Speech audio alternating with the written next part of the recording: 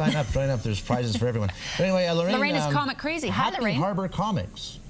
I have to tell you, they've got a wicked sense of humor here. Look at this for a little lunch pail for children. My first cocktail. There's something very Okay. wrong No, about that's that. That's not fun. That's not good for a kid, no. But it makes you laugh. Okay, Jay, we're going to spend a few minutes talking about movies that have been turned into comics and vice versa. Let's start with something that started as a comic and then was made into a movie. For sure. The the obvious stuff is all the superhero movies that are coming out, and, and this year we're going to see a lot of them over the summer from uh, Iron Man and Batman, uh, a new Hellboy film, which did really, really well, the first film. Um, the Incredible Hulk is getting uh, kind of redone um, with Ed, Ed uh, Norton in the lead, and it kind of looks really, really excellent.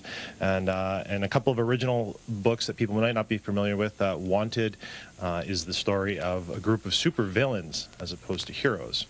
So and it stars Angelina Jolie and Morgan Freeman, and it's uh, it's gonna be it's probably gonna do very very well at the box office. It's No, pretty what I'm really surprised at seeing is something like uh, Ghost Whisperer Mm-hmm. and that kind of thing, Serenity, based on TV shows. Who knew that they'd been made into comics? It's a very popular trend right now. There's a couple of particular companies out there that will license uh, TV properties, convert them into comics, and it's not just television as well. I mean, Stephen King's books are also getting adapted into comic form, and they're doing very well.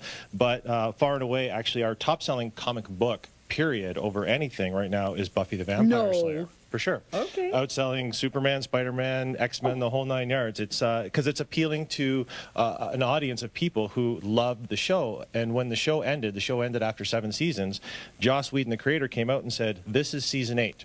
He goes, so if you wanted to know how the story continued, buy the comic. And that brought in a whole new group of people who were fans of the show who didn't really know about the comics. So you would have to have a direct tie into George Lucas or whomever. You can't just start writing a spin-off comic. No, not at all. I mean, the people who are writing these comics, uh, like in this case, it is Joss Whedon. This is his property. He's at the helm writing it. He chooses the writers uh, who work with him on the comic for all the different arcs and stories and stuff like that. Uh, the same with the Serenity, which is a spin-off from the Fire, the short-lived Firefly TV show, but it has a huge, huge cult following, and there's a lot of people that love it, and it just drives more people in. It keeps them wanting more stories and brings them into the comic shops. But not surprisingly, there are websites, Andrea and Shay, where you and I could go on and we could write our own comics, and it would be okay to do a Star Wars spin-off because it's just in these very protected websites where you can have at it and, and uh, express yourself. I think that would be kind of interesting too.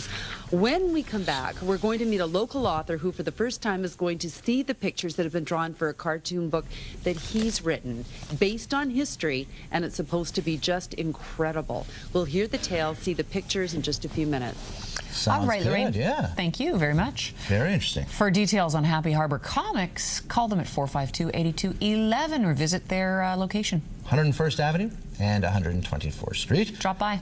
Yeah, and they're on the website too. You have to go to our website, which is globaltvedmonton.com, Click on it. and then click on links in the news. Links in the news. That'll get you there. Time for 667 4777. The Travel Report is brought to you by AMA Travel. All right, it's Nice seven um, destinations. 52. Beautiful, hey? castle. Mm, Yeah. Go for a castle right about now. Castle would be nice. Castle living, it's for me, yeah. Time to head back over to Happy Harbor Comics. Yeah, Lorraine there today showing us how some comic books are taking on a stronger literary role. Okay. Oh my gosh, this is such a tale. Have you read the Da Vinci Code? Yes. Yes. You'd be familiar with Knights Templar? Yes. Okay, if you want to know the true history behind the Knights Templar, you might want to pick up Stephen Dafoe's book it, called.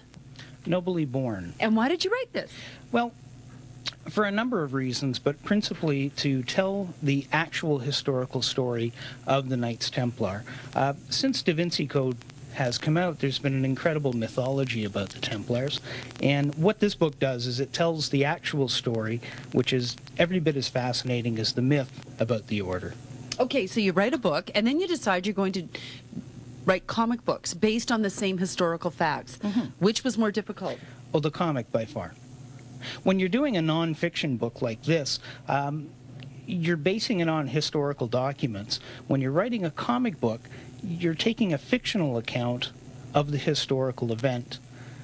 Much more difficult because you're working in two mediums. You're working in a written medium, but also you're having to anticipate what the visual representation is going to be. Not only that, Stephen, but you can't draw So you need to bring in an No, illustrator. It, it would be Stickman Knights Templar for sure. Okay, so then that's where Bob comes in, who's a professional illustrator. So how do you work in tandem with a writer to come up with something that you can present as a comic book? Um, I pretty much just this is my first time interpreting a script, which is um, just on the end there. But uh, yeah, basically just um, I look at the script um, as I'm as I'm reading through the script. I'm making little um, little thumbnails in the borders, um, and then uh, I've also uh, and then I go to uh, So here's the script. Yep. Here's your thumbnail. yeah, and then uh, when I need a little bit more uh, detail, I I, um, I plot out um, you know the pacing on a, on a slightly bigger scale, just get some figural movements going and stuff like this that. This was your reference. yeah yeah oh yeah we we uh, uh, Stephen provided me with just a ton of reference.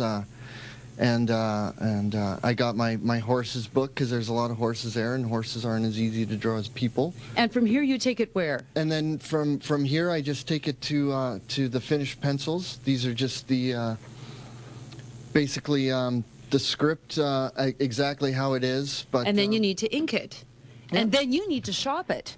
What, do you, what did you think? This is the first time you've seen these drawings? You know what? Bob has done a fantastic job interpreting the script.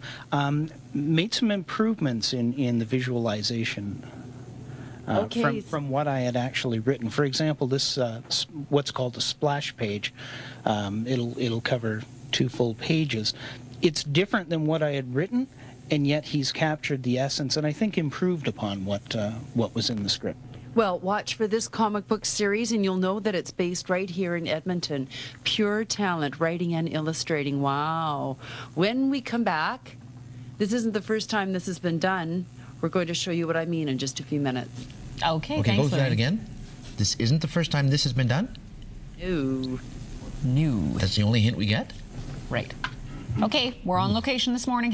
Happy Harbor Comics, 10112 124th Street. Their number, 452 8211, if you want to talk comics. It really leaves it wide open, doesn't it? There's a lot of things that we've never done before. This is true.